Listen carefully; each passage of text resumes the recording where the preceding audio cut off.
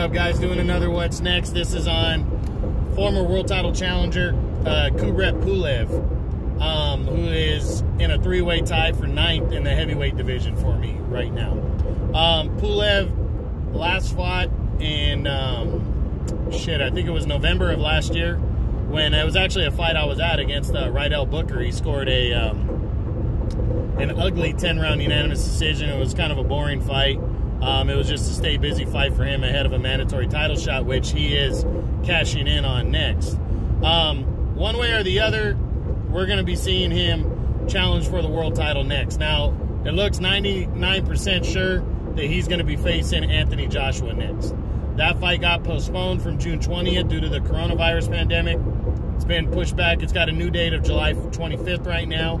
That's not 100% finalized because we don't know what's going to happen with the coronavirus pandemic, but we're hoping that that fight is going through. That's what everybody's hoping for. So, um, if it, but Eddie Hearn said the other day that if it goes past July 25th, if it goes to, um, you know, or past August, mid August, Eddie Hearn said that Anthony Joshua might be thinking about uh, a unification bout with Tyson Fury instead.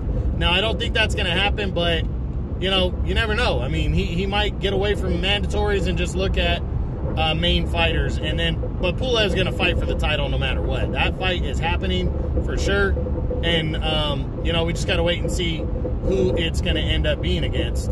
Um, you know, it'd probably be against Charles Martin, the number two contender and former champ, but I highly doubt that's going to happen. So, looks like Anthony Joshua is for sure going to be fighting Pulev for the title. Personally, I think Pulev's going to get his ass knocked out against Joshua, but if he pulls off the upset, that's how we're gonna. I'm gonna talk about this one. If he pulls off the upset and becomes a unified champ, what's next for Kubrat Pulev?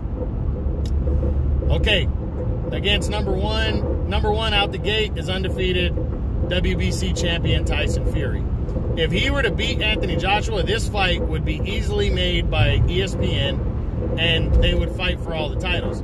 The problem, though, consists of two things. One, does Anthony Joshua have a rematch clause in a contract, and how does he beat Joshua? If he comes out and knocks Joshua the fuck out, probably Joshua doesn't fight him again immediately. But if he gets a razor thin, tight decision, Joshua probably does face him again. Um, that's one thing. The second obstacle that would prevent a Fury fight, at least for the undisputed, is the WBO championship because the mandatory is due to Alexander uh, Usyk next, and um, uh, that that fight has to happen immediately after. Now, I think Pulev would probably give up the belt to face Fury, so there is a possibility if he upsets Joshua, there's a decent possibility that Fury is next for it to unified belt. So I could definitely see that. Next at number two, Anthony Joshua. He's already fighting Joshua next. If he were to upset him, I absolutely think he could face Joshua again. Um, more likely than not. Uh, you know, because it would be a major upset if he beats Joshua. Sorry. Next at number three is WBC, our former WBC champion Deontay Wilder. If he upsets Joshua and doesn't have to make a mandatory, uh, an immediate rematch, I think Wilder is a fight that makes a lot of sense. If Wilder beats uh, beats Fury, so you know both those things have to happen. Personally, I don't think either one's going to happen, so I don't see this fight happening after that. But you never know. Next at number four, Andy Ruiz Jr. Um, Ruiz, it could happen. You know, Ruiz, it depends on what title he wants to get in line for. Um, he is a name. Could possibly happen if Pulev pulls it off because you could use the angle. Well, these are both the guys that beat Anthony Joshua. Personally, I think he probably get opportunities against the winner of Fury and Wilder, their their third fight. But you never know. I guess it could be an option uh, down the road if he were to pull off the upset. Number five is Luis Ortiz. I don't think um, Pulev, if he pulls out the upset against Joshua, would take the risk against a guy like Ortiz after that. I'm not seeing it.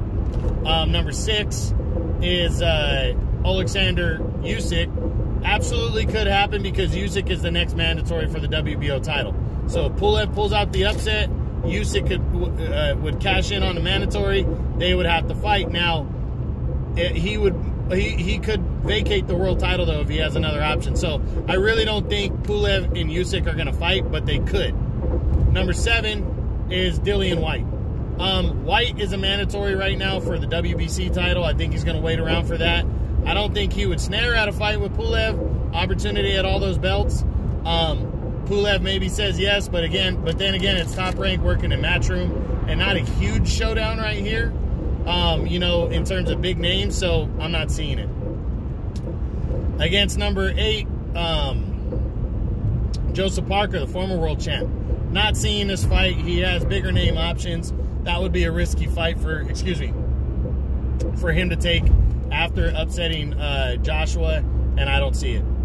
Uh, and then the three-way tie for ninth. The other two guys he's tied with, former champ Alexander Povetkin. Povetkin's fighting Dillian Whyte next. I don't think he wins that fight, but if he pulls out the upset, he's still the interim champion for the WBC and in line to face the Wilder Fury winner. So I'm not seeing him and Pulev lining up after that, but I guess it's possible, but I, am not seeing it. And then Michael Hunter is also tied for ninth, former world title challenger. Not a big enough name if he were to pull off the upset over um, over Joshua. This wouldn't be a big enough name to fight next, so not seeing it. So, you know, all that, in my opinion, is kind of irrelevant because I personally think Anthony Joshua is going to whip Pulev's ass, knock his ass out. That probably is going to end Pulev's career at his age. He's 37, 38 years old now. But he's got a puncher's chance. He's got decent skill. He's got some pop.